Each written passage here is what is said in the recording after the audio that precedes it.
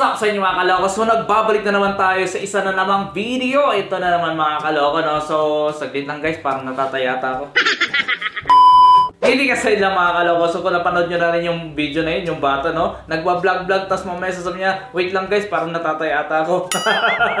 At bago na naman malayong usapan natin dito mga kaloko. So sa video na ito, pag-uusapan natin yung mga heroes na dating kinatatakutan. Na madalas binaban noon. Kasi ayaw na ayaw nilang katapat itong mga heroes na ito. Sabay-sabay nating alamin kung sino-sino yung mga heroes na yan. Pero bago na naman natin simulan ng video na ito, kung napadaan ka na naman sa channel natin na ito, isubscribe mo na yan at i-hit ang notification bell lang sa ganun. Maging updated ka rin sa mga bagong videos natin.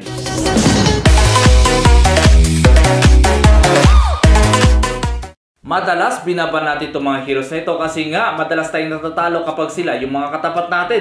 Kilalanin natin itong mga heroes na ito. Number 12 sa listahan natin walang iba kundi si Guinevere. So alam nyo na nga itong si Guinevere dati siyang binaban at syempre ito yung mga item recommendation ni Mobile Legends nilagay natin dito. Pwede nyo rin gayahin o pwede rin kayong gumawa ng sarili nyong build. At syempre mga kaloko, kilalang kilala nyo ito kasi nung pag-release pa lang ng hero na ito, madalas ang tagal niya rin napunta dito sa Bond Heroes natin, no, sa listahan ng mga Bond Heroes natin binaban talaga nila yan si Guinevere. Pero pag minsan hindi na talaga nila binaban, mas priority nila ngayon yung mga ibang heroes kagaya nila Valir, Esmeralda, at marami pang iba ngayon. Kaya naman mapapansin nyo, unti-unti na talagang hindi na talaga nila pinapakilaman itong si Guinevere. Madalas hindi na talaga nila binaban. Pero actually kapag na-timingan ka dito ni Guinevere, kaya niya i-one hit combo kaya madalas dating binaban itong si Guinevere. At sa number 11 naman natin, kilalanin natin dito si Hanzo na madalas dating binaban kasi nakakainis lalo na pag nasa Grandmaster ka kasi malakas yung mga gumagamit dito. No?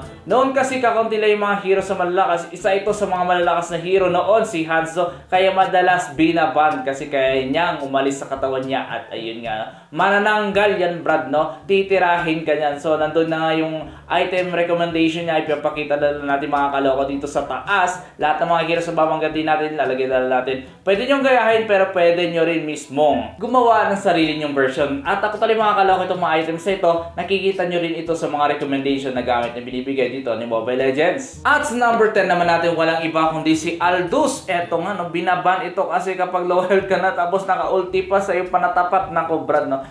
Madalas naiinis sila dito kasi nga sobrang lakas din ni Aldous kapag marami na yung stock, no. So objective mo pa rin mga kaloko na kumuha ng mga minion nang sa ganun lalo lumakas ito mas malaking stocks, mas malakas, mas masakit itong si Aldous. Kayang-kaya ka talaga. Actually, yung mga mage, kaya niya itong i...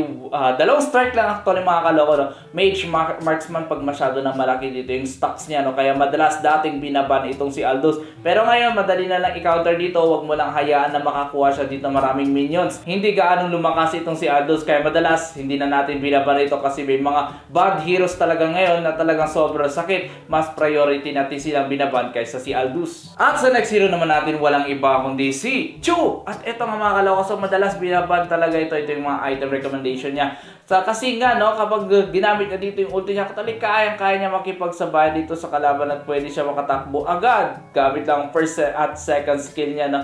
Tapos bigla-bigla na nasusulpot yan, bigla ka na lang sisipain. Ayun nga, no, kung gusto mo ng pang solo hero, pwede mong gamitin itong si Chu. Madalas binaban ito kasi minsan napupunyeta na sila. Lumalakas lalo dito si Chu, no. So ito nga, si Chu. Kapag gusto mo ng malakas hero na pwede pang solo, pwede mong gamitin itong si Chu. Hindi na kasi siya binaban ngayon. At sa next hero naman natin, walang iba kundi si Dirot na kayang-kaya talaga makipagsabayan. Lalo na pag early games, napakasakit itong Dirot na ito, no? Habang tumatagal, lalo siyang lumalakas, lalo na kapag nakikipagsabayan siya dito sa kalaban, no?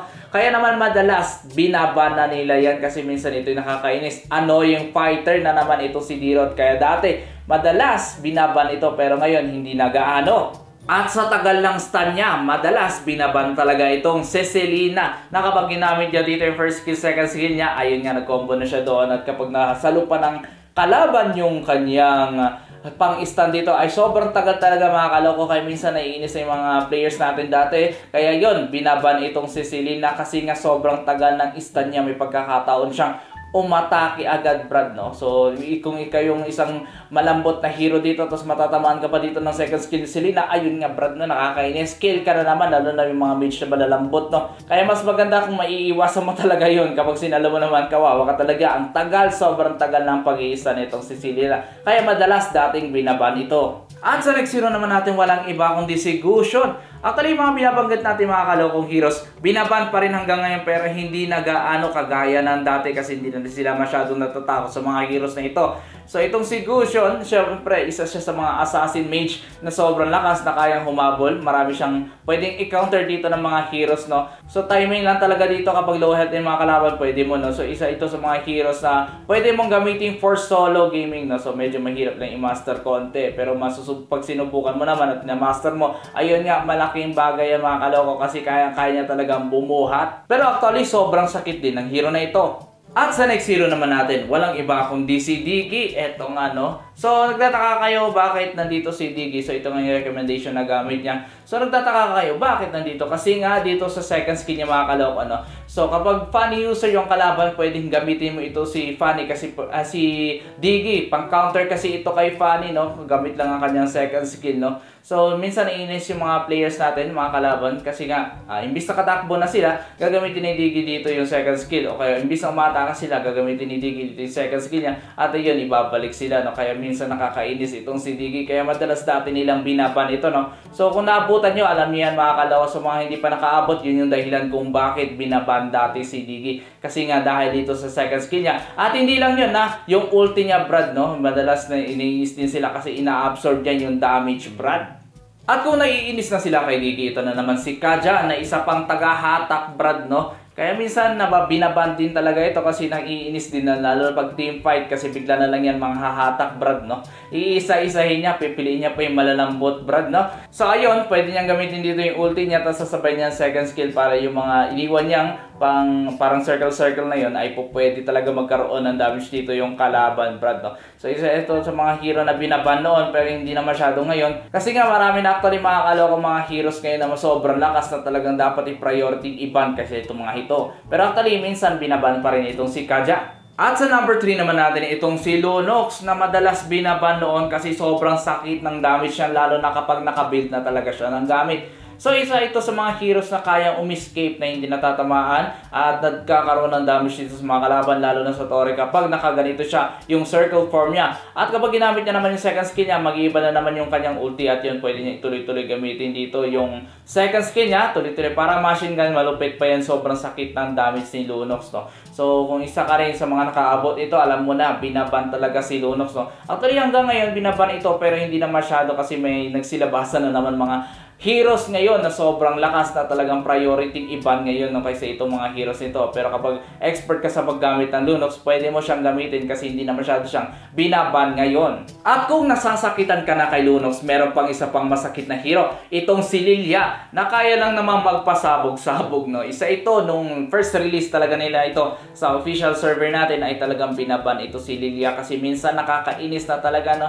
yung pasabog-sabog niya lalo na kung pro talagang gumagamit ng Lilia ang laki ng damage Brad no So, isipin mo yon early games pa lang kumakatay na itong si Lilia. Malupit din ito, isa ito sa mga malupit na hero. Kung hindi lang nila in-update dito si Valier, ayun nga, baka, isa, uh, baka si Lilia pa ngayon yung kayang makakill sa early games, no? Ito nga. Actually, hindi mo na magagamit isang beses yung bomba niya. Sundan mo pa ng first skill yan, dalawang beses siya sasabog dito. Uh, second skill, first skill, ganun naman lang, Brad. Nang sa ganun, ma-dead itong kalaban. Sobrang sakit actually ito si Lilia, no? Kaya madalas binaban ito, no? Tapos isipin mo yung ulti niya. Pwede niyang gamitin dito yung ulti niya tapos yun babalik ulit yung health niya. At the same time babalik din dito yung 5 na skill niya sa second skill. At last but not the least, ito talaga yung parang nasobrahan ni Mobile Legends ng lakas. Tapos in-adjust niya. Ngayon, hindi na binaban itong si Kiwi. Kaya madalas hindi na natin masyado pinapansin pag may nagkikimi kasi medyo lumiit yung damage niya, no? So, pag late game pa rin, syempre marksman pa rin niya mga kaloko, kaya pag late game pa rin, yun nga, lalong lumalakas itong si Kimi. Kaya kapag hindi binan si Kimi, gamitin nyo na Brad, no? So, actually, nag-adjust si Mobile Legends dito. Ang mas masakit yung dati niyang damage kumpara ngayon, no? Pero ngayon, hindi na masyado siyang binaban kasi halos kabisado ng kabisado ng mga players natin yan kung paano i-counter itong si Kimi, no? So, hindi na masyadong binaban yan, Brad. Kaya po pwede mo nang gamitin lalo na pag expert ka sa paggamit ng Kimi so wag mo lang gagamitin yung first skill niya kasi mas masakit yung basic attack niya. Kaysa yung naka-skill siya na parang ganito. Walang kwenta Brad.